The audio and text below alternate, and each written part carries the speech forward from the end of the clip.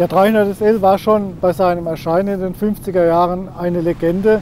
Er kam direkt aus dem Motorsport, er war ein Nachfahrer eines Rennwagens und er war das schnellste, was auf deutschen Autobahnen fuhr. Mit etwa 220 km/h konnte man eigentlich jedem anderen Auto davonfahren.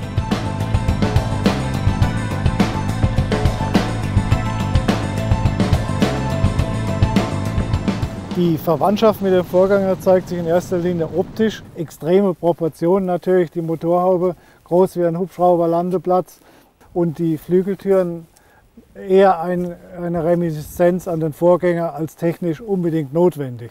Man kann sagen, er ist äh, heute als Supersportwagen ähnlich überlegen wie sein Vorgänger zu seiner Zeit war.